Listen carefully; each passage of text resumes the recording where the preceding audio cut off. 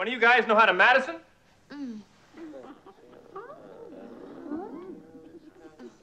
Brad, please, let's get out of here. For God's sake, keep a grip on yourself, Janet.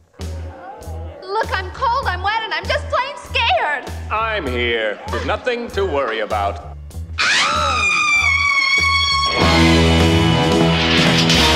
by the light of day, but by night I'm one hell of a lover. A sweet transvestite